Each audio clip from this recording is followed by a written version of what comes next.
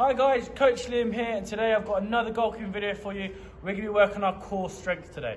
So, all you need is a football, any size ball, and a partner. So, your mum, your dad, sister, brother, whoever you've got at home to help you do this. Okay, so all you're going to do, have a watch, is throw two behind your head. You're going to go down, yes, and again, and two to the side, like that.